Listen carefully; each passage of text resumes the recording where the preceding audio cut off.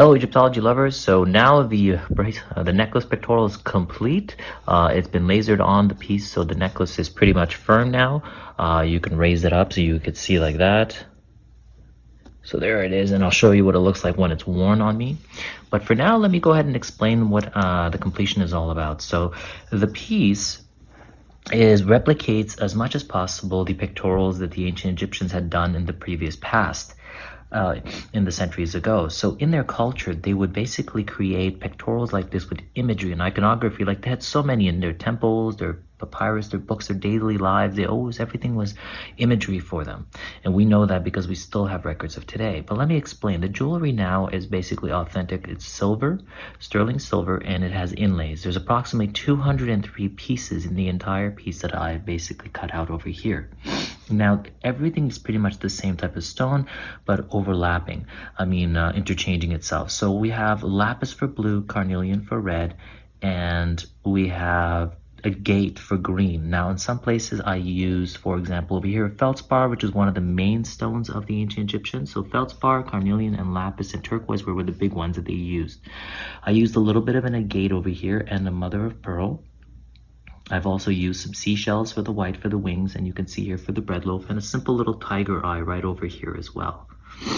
So looking at the piece now, I basically, what you do is I've designed the piece by using a technique called filigree. You create the wire work first, and then you take a silver plate, a flat plate, as thin as you like, and then you basically solder the entire piece on there. And then where the negatives are, the, the clear area is, you can see here, you use a saw, a jewelry saw, and you cut it around, and then you eventually clean it with a file. And that's it. That's pretty much it what you do. And then you just have to really work on detail, make sure it's clean. Now the hard part starts, even though that's a bit of a process. Now begins the cutting of each individual stone. It's an individual space. So you can see each one has to fit in accordance to its spot.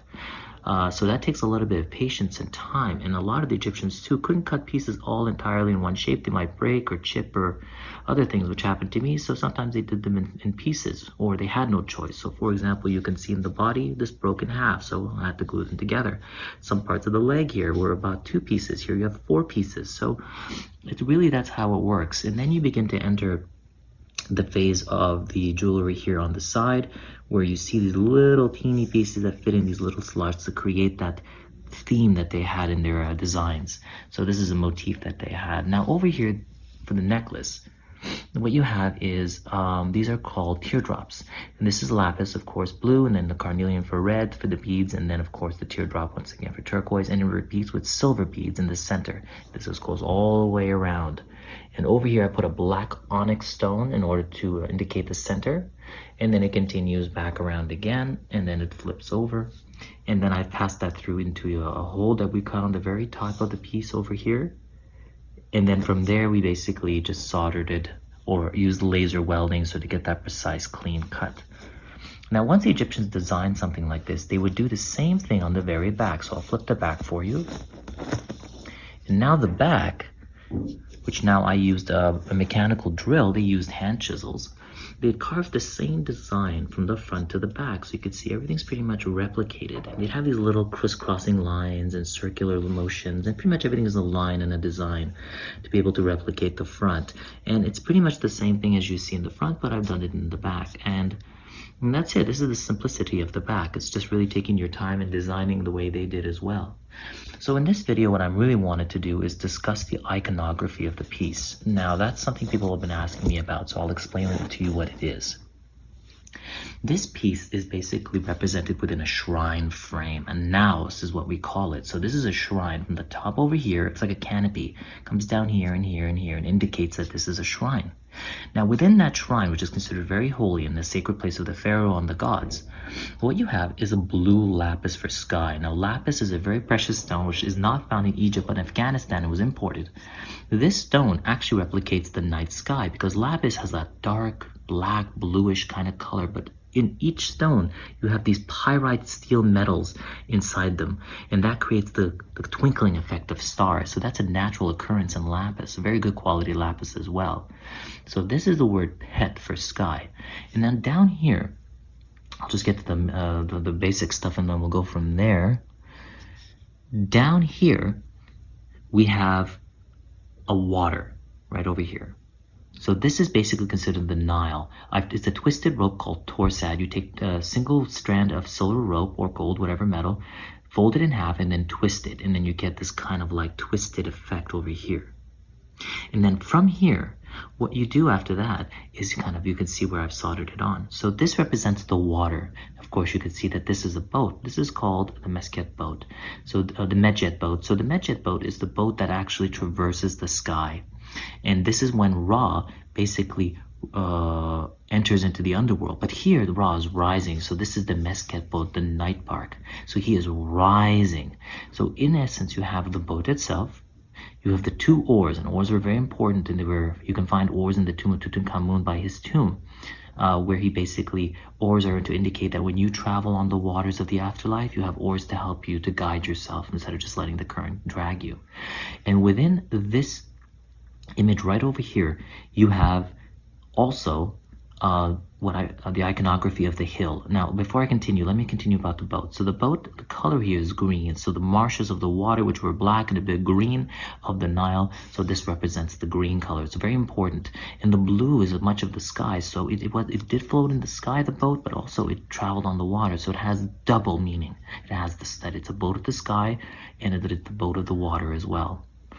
Now over here you have a stand. Now this usually it had the stand but didn't have the shen on there. I included that in there for the iconography. And the shen symbol is a cartouche which you all know has the pharaoh's names when it's elongated. But in its simplicity, shen is actually considered a circular infinity symbol which means that it's a cyclical life. That means anytime you put your name inside a shen or cartouche that means you're asking your life to be rejuvenated and reborn in a cycle without dying. So there's a symbology of that. Now you have over here another stand, and I've included these as well. You don't find these on the boat, but I've included it. You have a bread loaf, and the bread loaf represents food, offering. So food, which means to give, is also verb to give. And this was very important, like we do with our basically Christian, Judeo, and um, Muslim traditions of breaking bread, which is an offering of peace or an offering of food. So it's basically bread, but then you have the ankh for life. Now you have bread and an ankh for life, which represents life itself. But this means now is a sentence or a phrase I've created. So it says to give life. So I'm basically telling you that upon this boat, Khepri, which is the scarab beetle representation of Ra, gives life on this boat, and he is eternal. And upon his eternity, there is a boat. He is traveling with this. Now, when he rises in the eastern horizon, this is the horizon. This is a mountain. So the mountain from which the sun rises, this is known as the Achet. I mean the Ach. So Ach means that it's rise. It's it's the symbol of basically a hill, a rolling hill. You can see the the two mountain sides, and then the sun, which rises from underneath.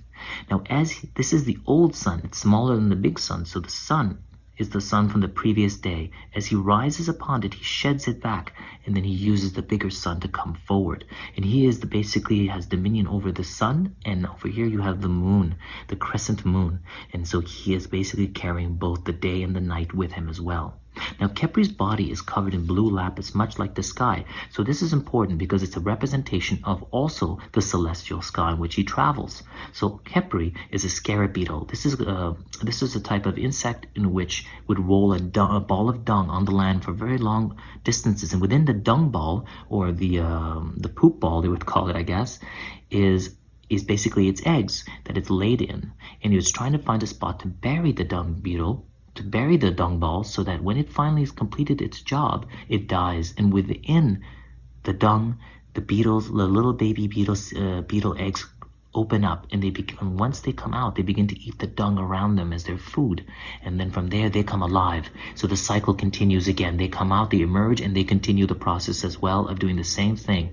Basically breeding laying the eggs inside a dung ball rolling it somewhere down to a area burying it on the ground dying and then repeating the process so Khepri rises with his wings, meaning like a bird, he rises as well, which of course the white for the wings, they're rising up into the sky. And Khepri's body represents the sky as well, hence sense the blue lapis, like the night sky of Pet. And as he rises, he basically brings the day and the night with him as well. Now the final iconography in the piece here is you have these two flowers. Now flowers are very important to ancient Egypt, especially the lotus flower and the lily flower. Both these type of flowers emerge out of the water. And when they emerge, especially a lotus, uh, a lotus flower, what it does is in the daytime, it opens up and in the nighttime, it closes. And so it represented the same thing as the actual uh, beetle of rejuvenation and the cycle, much like the Shen, the rejuvenation and the cycle of closing and opening, closing and opening. So it's the constant cycle of birth and rebirth. So very important to the Egyptians. They included the flowers in their jewelry and in all their picto- iconography pictures as well. Now, of course, the, the, the papyrus plant. Now, the papyrus plant was also, I'm sorry, the lotus flower, excuse me. The lotus flower did the same thing. It would open up and close, open up and close. This is this is a blooming one, just as this one is blooming as well. So they would do the same thing, open in the night and close in, uh, clo close in the night and open up in the day. And that's the jewelry representation right here. So if you read this as a person in ancient Egypt, seeing this around the pharaoh or the person in which uh, the royalty is carrying it, they're basically saying that Khepri, who travels in his night bark, emerges from the horizon in, into the day and carrying with him the sun of the, the following day. And upon that he is rejuvenated with both the lily and the lotus flower.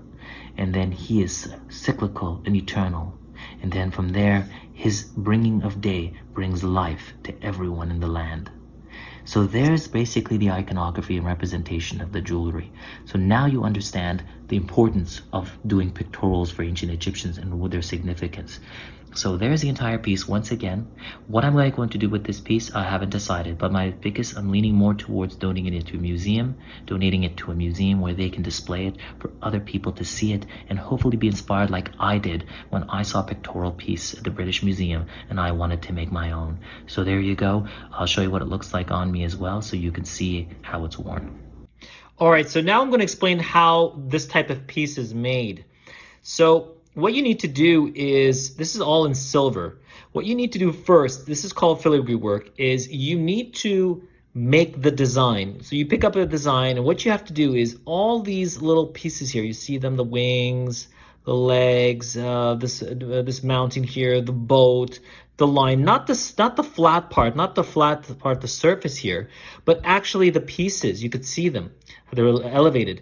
This is filigree. This is what you have to design first and solder. So you could see you make these pieces, you twist them into their shapes, and you solder them together like that. You see they're all soldered.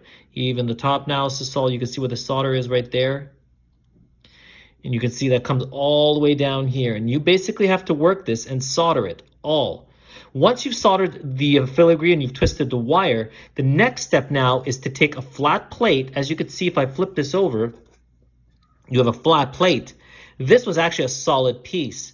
I simply, once it's soldered on, so you put the plate, you put the filigree over it, and then you start the process of soldering it. You just put the liquid where you want, and the pieces will stick together. You have to go methodically one by one, and just let the let the silver or gold, if you're working with gold, kind of melt into the spaces.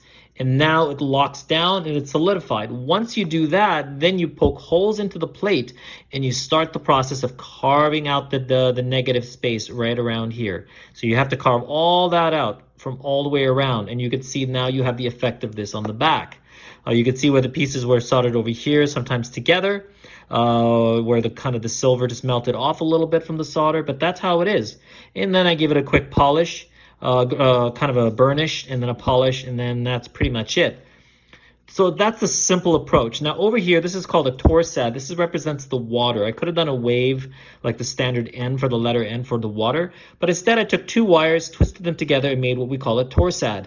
And then you could see I soldered them at certain spots together and on the boat, and then basically over here as well. So that is the completion of this piece. And then you trim off any excess that you have, any sharp edges. Uh, you clean off little areas around the corners here. You can see where this has got soldered as well.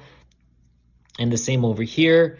And that's it. Really, there's nothing much more to it. It's just a long, arduous, tedious process, filigree. It's not something where you just kind of solder two things together, but you have to do several type of things at the same time.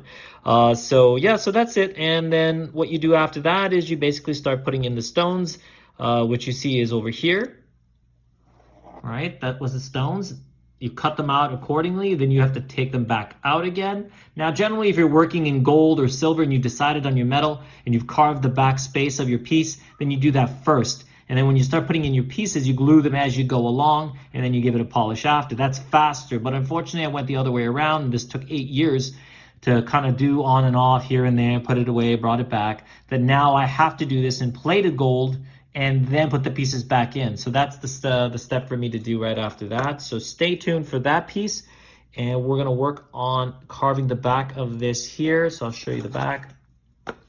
The same design using this Dremel tool. And we're gonna make the same design. We're gonna draw it in first with a marker so we know we have our lines and then we're gonna do the same after. All right, so stay tuned for that. Hello Egyptology lovers, so I'm going to show you how I work these processes, a very long arduous process. So each stone is carved, I take things like, you know, this is seashell, that was a bead, I carve it out and then I make that, but it takes time because I have to use my foot pedal, which is below me, and grind out these stones slowly like that. And then once that's grinded down, then I can put it in the position where I had it before like this.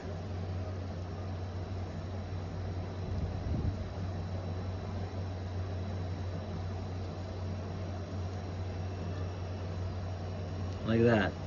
You see? And it fits perfectly right there. And that's how I work the jewelry. And this is a process that's going to be basically for the entire piece, making it this way. So let's hope for the best. And finish it up maybe by in a couple of weeks, maybe a week guys. So one side of the wing is complete. I'll show it to you in the sun. How nice it illuminates in there. So that's one side of the wing is complete, and I'm going to work on the next side and finish that up as well. So uh, just continuing uh, update here. So all uh, the two wings are done, uh, both complete. I just have to left to do the moon for the day, and that's it for the day, and start back tomorrow. Everybody, so this is the end of the day for this particular piece. I'm going to work on day two tomorrow. I'm going to show you the wings are done and the moon is done. I'm going to show you how delicate this moon is. I had to take it out with the needle. It's so delicate. It's almost like like, look at that. It's like a hair.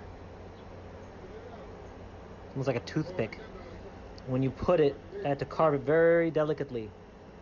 When, when I put it back, it falls right in place. That's how delicate you have to be. Look, almost the size of a needle. So it took a lot of work to put together, but that's uh, that's day one here, and we're gonna work on day two tomorrow. All right, everybody. So today is day two. Uh, I already have the pieces ready to cut out for the rest of the scarab body, so I'll get to that, and we'll go. Uh, I'll show you the end of the process.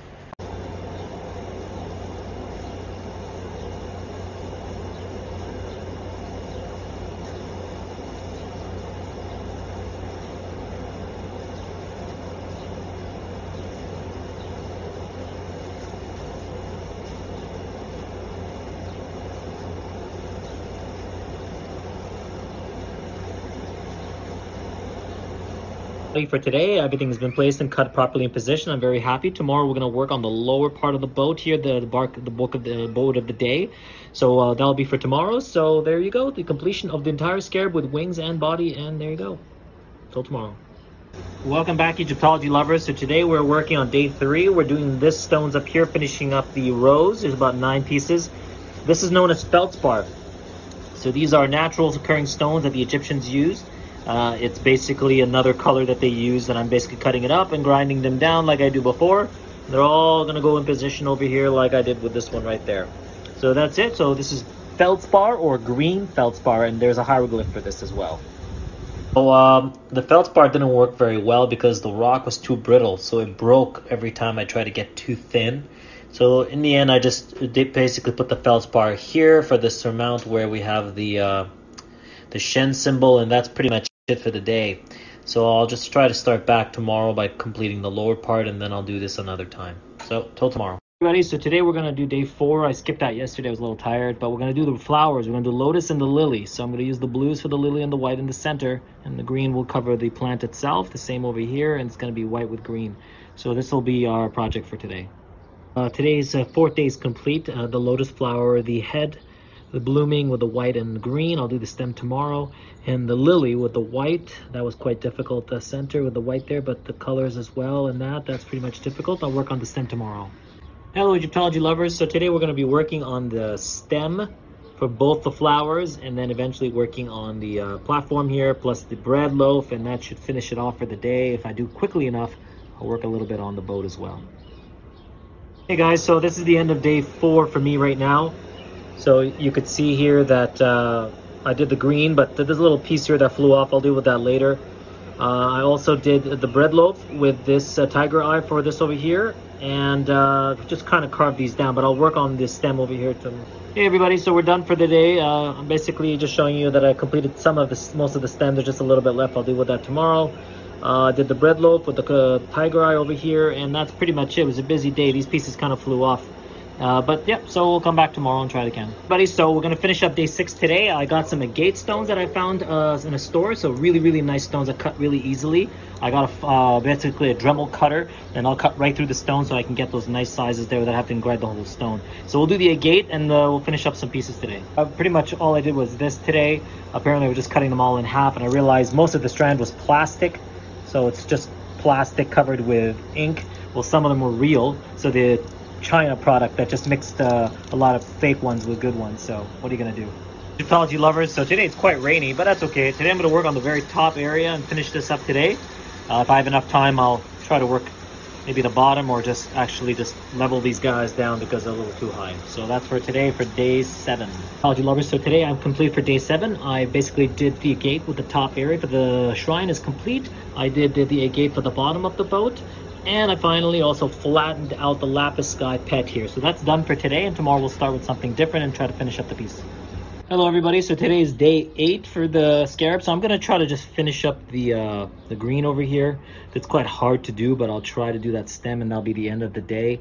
And maybe if I have more time, I'll file down these guys over here, make them nice and straight. So that's for today. Hey Egyptology lovers, so the center pieces are all done. The stem is complete. I grinded down the carnelian here around the frame, but now I got to fill them up a little bit because they were too short uh, the next time I start doing it. So they're all full. And after that, yeah, we'll go from there, but this is done the center. Hey, Egyptology lovers, so today we're going to be working on for day 9 is the uh, surrounding area, the carnelian, make sure it fits properly like this one I just did right now. So I have to cut a piece out so it fits within it so now it looks full. I'm going to do that for the ones that are missing so I've set up some of the pieces. So yeah, that's for today. Hey Egyptology lovers, so day 9 is complete. I was able to do this one side here. You can see I filled them up to have the separators. This side is filled up. This is filed down. That was filled up. But I still have to do three down here. And I'll have to do another three over here. So that's for next time. Hey Egyptology lovers, so today we're continuing the uh, carnelian carving. So I did those yesterday. And now I'm going to do two over here. And I'm going to do three over here. Once that's done, the outer rim is done. And all I have to do now is start working on the little pieces on all the way around. Alright, so that's today for day 10. Hey everybody, so everything is done here. The carnelian, the carnelian has been carved out and positioned for all of them. All that's left now is to fill out these little sections over here. We're going to stick with the same theme over here with blue, with red, blue, and green and blue. So that's what we're going to do next. All right, everybody, so today we're doing day 11. So we're working the outside now. Like I told before, you can see I already put a nice lapis in there. So you see how it fits. So I'm going to do that all the way around here, but not all today. Maybe just kind of work this area here first. We'll see how far we get. So that's today carving down the stone so I can get it flat so I can get it for the little pieces.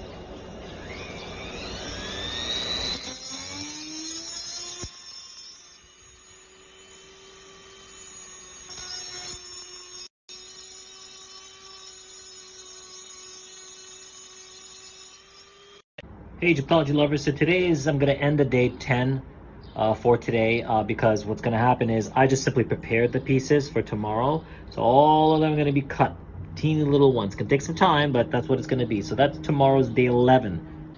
Hello Egyptology lovers. So today we're just going to discuss the starting and completion. So today I started working on the sides. You can see I've filled them out. And I do the other side as well. They are filled out. And by tomorrow I should be done and fill out here. And then the piece is complete. So until tomorrow. Egyptology lovers, today is day 12. Hopefully the last day for this carving. And this will be basically uh, doing the bottom part, the little guys. And we'll finish that up today. And that'll be the end of the piece and the completion. We'll move on to something else. Hey everyone, so we're going to show you here that we're almost done. We have about six pieces, seven pieces to finish here for the gate bottom and the piece is complete, so uh, stay tuned for that. Hey Egyptology lovers, so here it is. Thank you for tuning in and watching me, my development. So the piece is complete. Uh, I've added everything at the bottom here. Everything's been put on the side, so the jewelry is finished. Uh, thank you very much for you guys watching this video. Just to show you a close-up here. You can see how it's all in there. Didn't take very long. I was surprised. Just took a lot of patience and preparation, but that's about it. But yeah, but yes, the entire piece is complete. I'm very happy for that. So the next step is to carve on the back the same design, but on the back of the silver. And then we're gonna gonna glue all these pieces together onto the plate. That will be the final step. And then I'll work on the necklace, which will attach to the actual uh, pectoral. So that will be the final stage uh, going from there. So thank you very much everybody for watching. This is the completion of the piece after eight years. So I'm very happy and thank you for watching guys show you my workstation. So this is what I was working with, the stones, more stones, and my uh, hammer and kit over here. So this is how I was working to finish the piece, so you see. Hey Egyptology lovers, so I'm just going to show you the completion of this pectoral. So this is made out of silver. So all the pieces have been inlaid. So this is a filigree style work where you would basically uh, make the actual frame first as you could see here, and you solder it all in the frames, uh, the different frames that you see that is surrounded with uh, jewelry pieces. And then you lay down a flat plate and you solder it all together. And then from there, you carve it out with a saw, a hand saw, a miniature one for jewelry. And then you have all this clear, empty, negative space.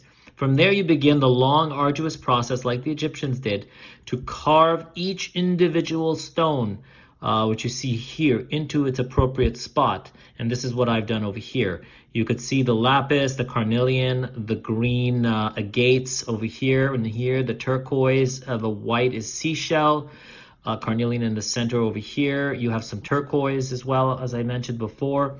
And you pretty much have it all going around here in the same theme into these little miniature slots. So this is the completion of the actual uh, pectoral jewelry. Now I'm going to go through the explanation of how to make this again, but what I'm going to do is remove the pieces, set them down somewhere because I need to do another process here, which is basically engrave the same design on the front, on the back, using a Dremel tool uh, with a diamond tip point in order to create the effect of the same they did the Egyptians on the back of their jewelry. So it's going to be a replica of the back, and that's what we're going to do. Uh, and then after that, we're going to glue each individual piece in its proper position once again. So that will be the next uh, step for this piece. So stay tuned for that process and then I'll work on the necklace afterwards.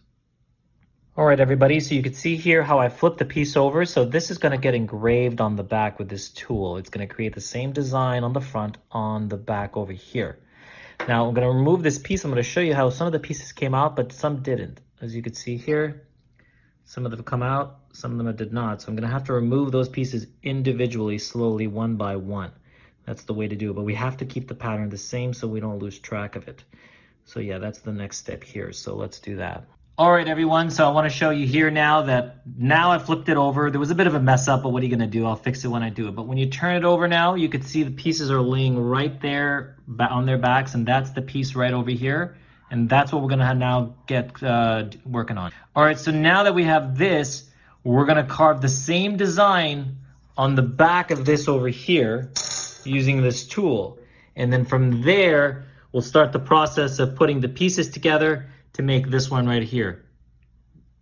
Putting them back with glue. So that's what we're going to do after that. Welcome back Egyptology lovers. So I've done all the tracing for the back of the piece to replicate the front with a bit of added touch of design from the ancient Egyptian jewelry that I've seen online. So here you can see how I've kind of started doing the uh, the carving into it. So there you go. And let's do it in stages and see what happens.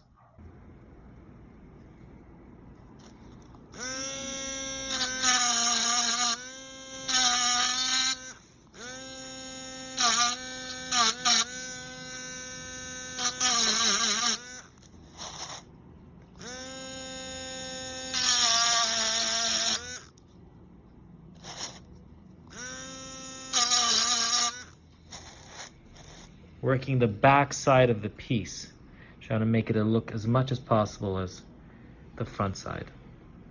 All right, so we're almost complete here with the back of the uh, pectoral. All I have to do is the wing side here, as you can see, engraved. It's going to be um, the last few wings here. It's going to be engraved, and we'll see if we'll do something with that. Hey, Egyptology lovers, so we are completely done engraving the back here, the design uh, which fits the same design in the front. So you could see a little bit the engraving of the wings in the back. So that's done for this. All right, guys. So what we do, we're going to do next now is we're going to use this call. this is a paste. This is for uh, polishing. we rotary that on there and then we give it a polish. And I already did that, so you could see I've polished it around. You could see it's shining a little bit more. I want it to look like it's shining. It doesn't have to be perfect, so there you go. Hello Egyptology lovers. So today we're going to do uh, the transferring over of the pieces again to the actual piece. We're going to use a cement bond right over here and that's going to help us bond it together to the silver so the pieces will bond over here.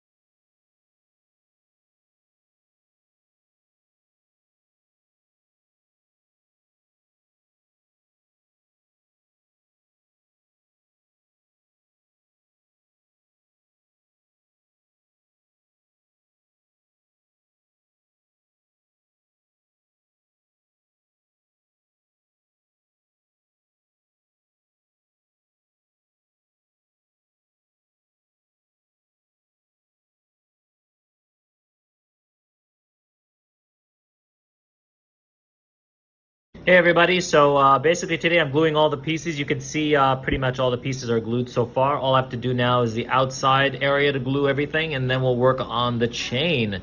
So stay tuned for that.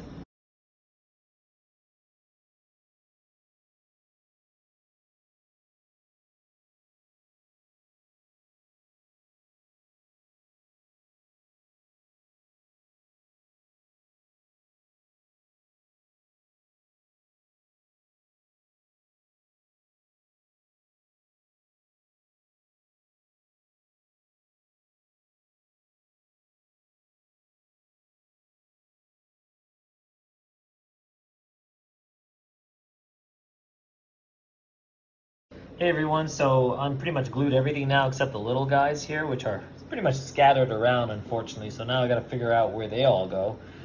Oh well, what are you gonna do? Uh, that'll, that'll be the last thing to do, so and that'll be it. Hey Egyptology lovers, great news. The piece is complete. Everything is glued. Everything's been positioned right on its place. So very happy that the piece is done uh, eight years later, I guess. But there you go, all done. We're going to work on the next step I'll do in the video. All right, everyone. So the next step now is to create the necklace which goes with it. Here are the beads that go with it. And uh, this is basically the, uh, the silver. Uh, that's going to create the string and we're going to attach that around. I'll show you once it's all set up with the string. So we'll go from there. All right, everybody, so now we're gonna bead the string. So it's pretty much just making sure that I take, uh, this is gonna pass through the other end over here. Okay, that's what it's gonna do, but I'm gonna bend this so it doesn't come back out. So what we do is just give it a little bit of a bend, like that. And that's it, that's all you need. And then just making sure the bead doesn't come back down through it again. And then we can cut it and adjust it, but I'm gonna bead the string and then we'll go from there. All right, now everyone, so we're gonna bead the, the string. We're gonna go in a sequence. That's the sequence we're gonna follow. The lapis, then the bead, then a carnelian, then silver, then turquoise, then uh, the teardrops, that's what they're called, turquoise, bead, bead, bead, bead, bead, and then repeats the same as that one over there. So that's how we're gonna operate, and then let me just do it all, and I'll show you what it looks like. All right, so you can see the sequence here that, uh, that you see that it's developing and uh, I'll get back to you guys, but I just want to show you that's the sequence we're looking for. All right, everyone, now that the pectoral is complete, I've completed the chain. You can see the sequence, uh, the way it moves from lapis to turquoise and all the way around. And to center it, I put an onyx bead and it goes all the way around. Now we're going to attach it to this and then uh, hopefully uh, complete it. All right, so now that the, everything is complete, I'm showing you how it's going to connect. It's going to go in that way, and then we're going to basically laser it onto there. See how it fits in that hole right there? You can see the line, and we'll do the same on the other side, and then the chain is complete, and that's it. And I'll show you guys that after.